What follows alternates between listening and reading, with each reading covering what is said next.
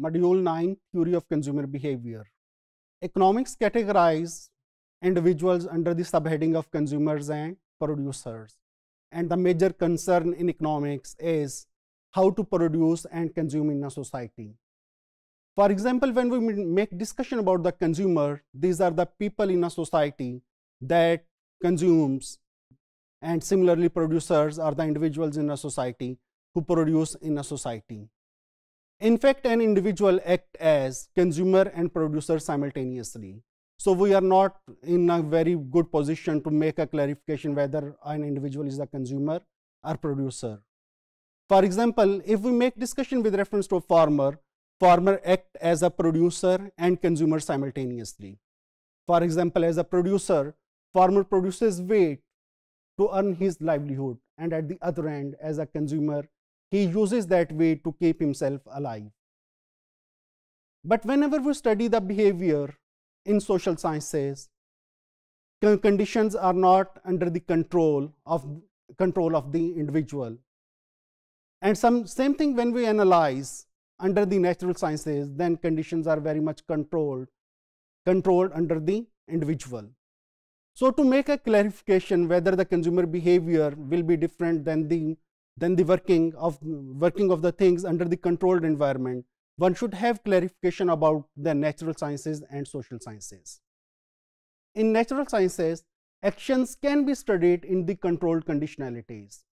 For example, if we make discussion about the photosynthesis, photosynthesis is a process where light converts into plant growth.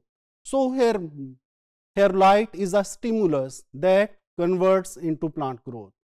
Similarly, the, if we make discussion with reference to chemistry and other natural science, where we combine different chemicals, different components to produce something other. For example, if sodium and chloride are added in the controlled conditionalities, it results in sodium chloride.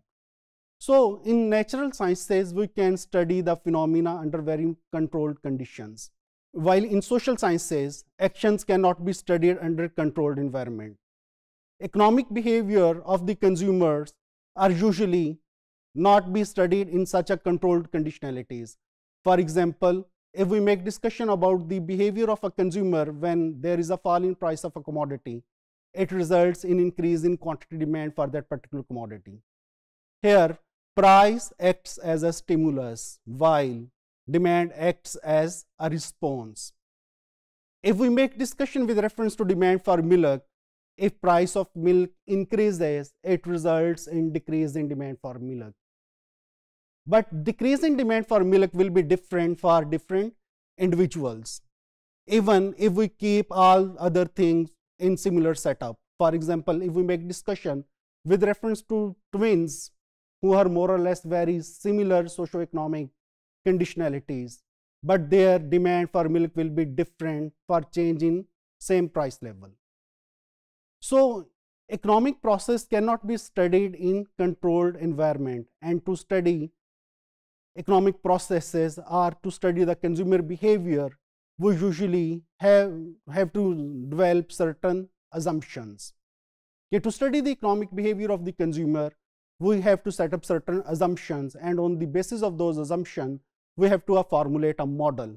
To understand the difference in the consumer behavior, one should require about the understanding of the consumer behavior.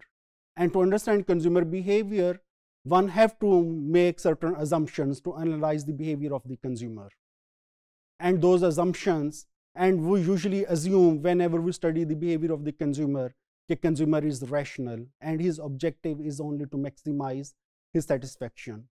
So being rational even within similar conditionalities, economic conditionalities, behavior of the consumer is different.